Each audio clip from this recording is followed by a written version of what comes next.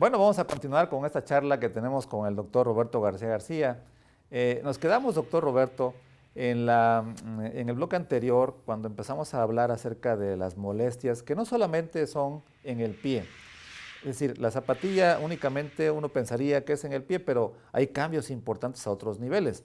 Mencionaba hace rato que hay una compensación por parte de la columna vertebral y eso ocasiona también alteraciones en la columna, ¿verdad? Y ocasiona obviamente dolor, ¿no? Eso es. El dolor más común es a nivel de la cintura, que, es lo que se le llama lumbalgia, creo que el otro día platicaron al respecto, ¿no? Claro. Que ahí dentro de tantas eh, razones de una lumbalgia, pues es el Puede ser esa. de la zapatilla. Ok.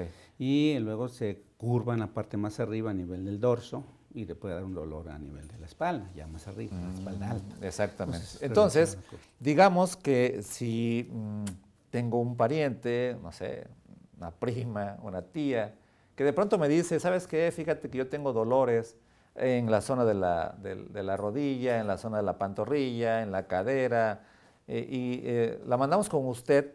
¿Usted cómo las empieza a estudiar? ¿Qué cosa hace para, cómo, cuál sería el camino que sigue un médico de especialidad para este tipo de pacientes? Bueno, generalmente cuando hay dolores en distintas partes habría que descartar primero alguna otra enfermedad, ¿no? Eso es. Tiene uno que pensar en otras alteraciones de acuerdo también a la edad del paciente y demás. Y ya después descartando otras patologías, otras enfermedades, si nos damos cuenta que el problema está relacionado con el uso del zapato alto, pues tiene uno que evitarlo. Y lo primero que hay que decirle pues, es eliminar la zapatilla porque esa es la causa del problema. Y generalmente con eso y, terapia física, rehabilitación salen sin ningún problema en poco tiempo. Mm. Aquí el problema es de que tuviera ya alguna cosa eh, dentro de la rodilla por un desgaste que puede estar relacionado con las zapatillas, pero que también tiene otras razones, otros factores. Ahora dice, bueno, ya tiene un desgaste en la rodilla, ya no, yo nada más es quitar la zapatilla, hay que ver qué otra cosa se le puede hacer a esa mm. rodilla porque ya está alterada. Si tenemos una, una, columna alterada que aparte del uso de zapatillas ya tiene otra enfermedad, una hernia discal, cosas así, pues habría que pensar ya en otro tipo de, de, este, de tratamiento, ¿no? Claro, entonces digamos que primero hay que pensar mal. Sí, exactamente. En una cosa más, más severa. Definitivamente sí hay que descartar otras cosas que son más serias. ¿Y existe algún estudio en especial, doctor, acerca del pie, por ejemplo, que me pueda indicar que es el calzado? No sé, algún estudio de radiografías o plantares, no sé cómo se puede No, más bien es revisión, ¿no? Médica. Eso es una cuestión La revisión médica, clínicamente uno en la revisión se da cuenta de que por dónde está el problema. Ah, eso es. Cuando tú dices, bueno, este, este pie que estoy revisando tiene la callosidad que decíamos hace rato, la planta del pie, tiene sus dedos en garra, tiene sus callos en la parte del pie, tiene su juanetito ya por ahí, tiene una parte de una, una, callosidad en la parte de atrás del talón, todo va concordando pensando que es el problema del zapato, y ya entonces se le interroga y se da uno cuenta que se relaciona mucho, ¿no? Obviamente que no es la única razón, puede ser otra causa, claro. pero hay que identificarlo. Ahora, si ya tenemos el problema, si ya la paciente tiene el problema de los pies, entonces hay que individualizar qué problemas tiene, porque cada problema tiene una solución, no es una solución. Y es diferente en cada uno. Sí, entonces dices, bueno, tiene callosidades en la parte baja del pie, que es lo más común. ¿sí? Este, entonces hay que tomar unas radiografías, ver la forma de los, de los huesos, ver qué, alteraciones ha ocasionado y seguramente necesita alguna operación. Claro. Tal vez si no, si es una cosa leve, se le ponga una plantilla y la plantilla le ayude a mejorar las molestias. Ya en una mm. persona adulta una plantilla ya no sana, ya no corrige la deformidad, se utiliza para que controle las molestias. si uno quiere corregir una deformidad para que ya no salgan esos callos, hay que operarlos. Es, algo de cirugía. y, aquí, por ejemplo, tendría algún factor, digamos, eh, agregante, no sé, se me ocurre el peso en estas pacientes. Sí, claro. No, el sobrepeso es malo para todo, como, como todos los ramos de la medicina, ¿verdad? Y aquí no es la excepción.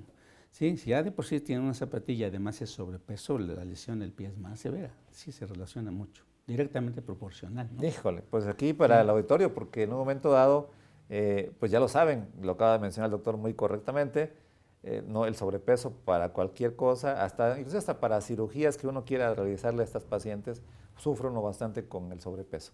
Bien, maestro. Y hablando acerca de, este tipo de, digamos, de molestias que siente el paciente, eh, ¿qué es lo que primero usted eh, recomienda? O sea, ¿recomienda usted retirar las zapatillas? ¿Se le da alguna situación en especial, algún tipo de ejercicios ¿O medicamentos ese de inmediato? Los medicamentos, todo lo que se dé es paliativo, como decimos, no es para calmar las molestias, para que no le duela mucho, para que se controle, pero las deformidades que ya están presentes no se quitan, ni quitando la zapatilla, ¿verdad? Al, quitar la zapatilla va a calmar mucho las molestias porque ya no tiene la presión, el roce del zapato, y eso es bastante importante.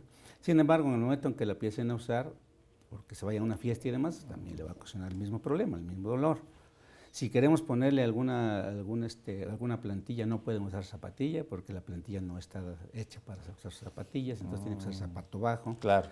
Y todo esto es puramente para calmar las molestias. No hay otra forma más que operándole. Los medicamentos son para también, si dices, bueno, a pesar de que ya no uso las zapatillas, me sigue doliendo un poco al caminar y demás, Generalmente el dolor para caminar en el caso de las cavidades abajo con las plantillas se quita.